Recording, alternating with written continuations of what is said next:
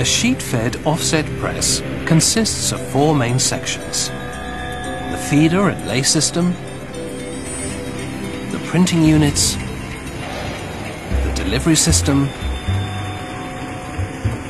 and the control station. The feeder and lay system ensures that once the pallet of paper has been loaded into the press, paper sheets are fed from the paper stack into the press one by one in exactly the same position. The printing units each print a single colour on only one side of the paper. This press has 10 print units. The second set of five print towers has exactly the same function as the first, allowing both sides of the paper to be printed in one pass. Perfecting cylinder between the first set of five units and the second set realigns the paper so that the reverse side is facing upwards.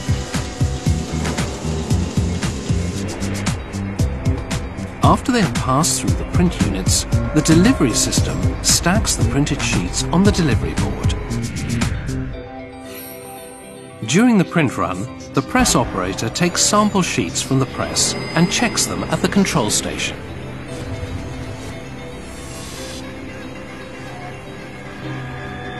Let us look at the offset printing process in more detail on this five-colour press. Before the print run can start, the plates must be loaded into the print units. Extreme care is needed because even small scratches on the plates would be visible in the printed image.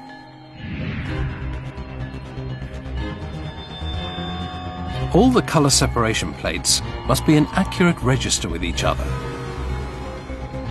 And every plate has register holes to locate it precisely on both the plate setter and now on the printing press.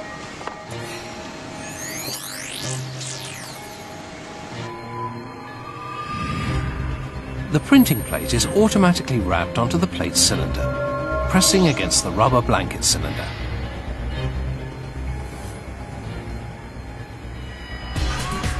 The print units in the press are supplied with ink via a piped distribution system from a central ink reservoir.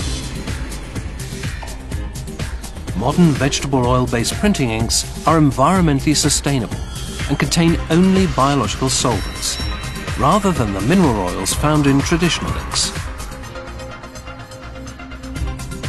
The first four colour print units are loaded evenly with ink in the order black, cyan, magenta and yellow.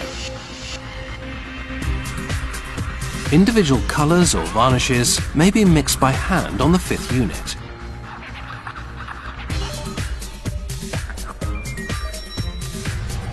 Certain areas of the artwork have more intense colour than others, and the press software has determined that more or less ink must be supplied to each duct across the ink rollers.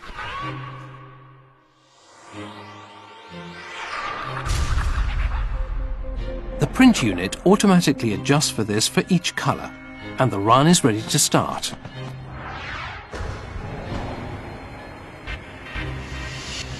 The pallet of paper is loaded into the press and carefully aligned with the feeder system.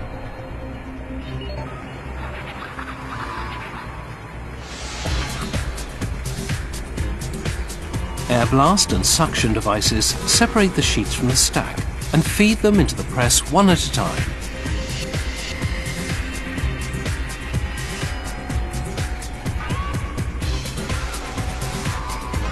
Double sheet detectors measure sheet thickness, stopping the paper feed to avoid a paper jam if two sheets stick together.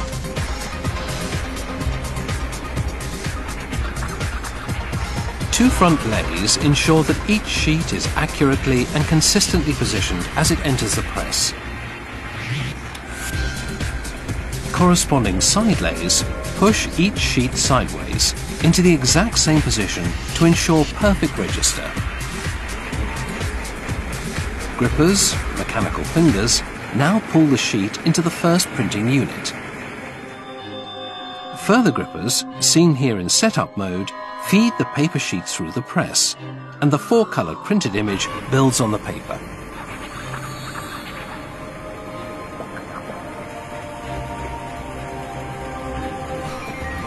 Finally, the gripper system pulls the sheets into the delivery section and stacks them.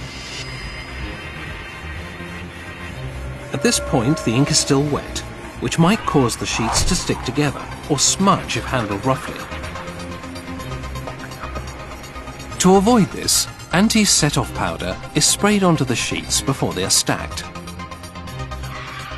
Specially formulated rapid set inks and papers use less anti-set-off powder and allow the sheets to be handled and finished straight off the press. While the first sheets are being printed, an automatic scanner checks the registration and colour saturation.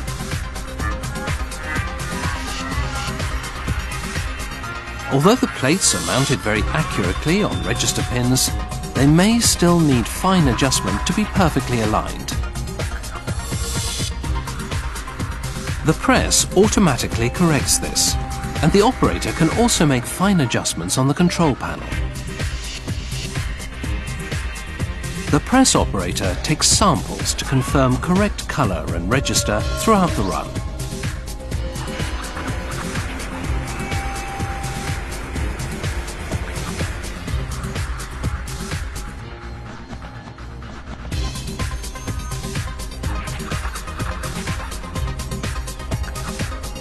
The final stage of the print run is to collate the different sheets together, bind them and cut them to size.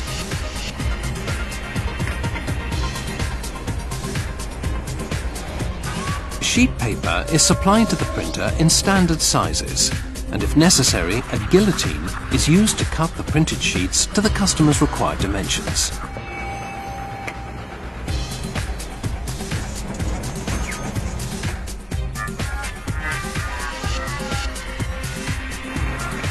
Books and magazines are folded into sets of DIN A4 pages, called signatures, which contain the pages in the correct order but not yet cut or bound.